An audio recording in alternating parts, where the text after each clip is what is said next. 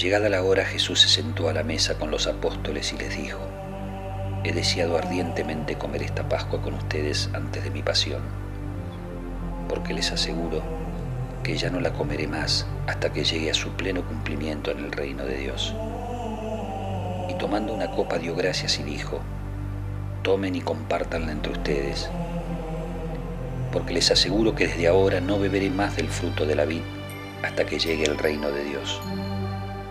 Luego tomó el pan, dio gracias, lo partió y lo dio a sus discípulos diciendo, Esto es mi cuerpo, que se entrega por ustedes. Hagan esto en memoria mía.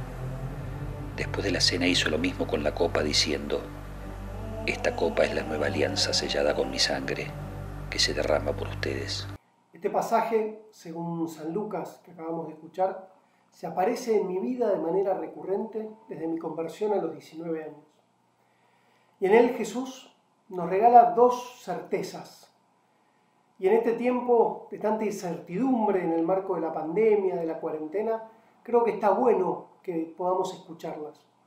En primer lugar, cada vez que lo oigo, yo experimento que Jesús me mira a los ojos y me dice, he deseado ardientemente comer esta Pascua con vos.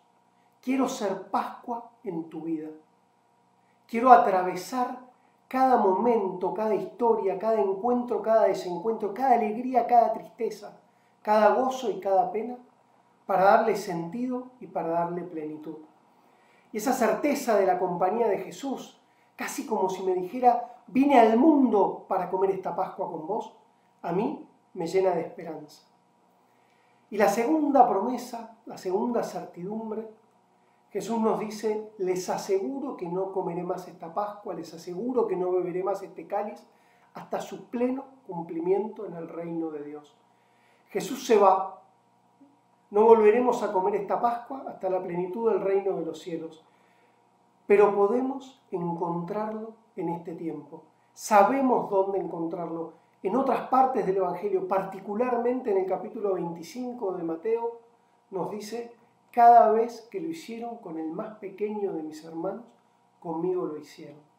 Jesús nos invita hoy a hacer Pascua para los demás, a que nosotros seamos el Evangelio que nuestros hermanos leen hoy en día, que lo puedan descubrir en nuestra mirada, en nuestro abrazo, en nuestra ternura, en nuestra cercanía, en nuestra compañía. He deseado ardientemente comer esta Pascua con ustedes.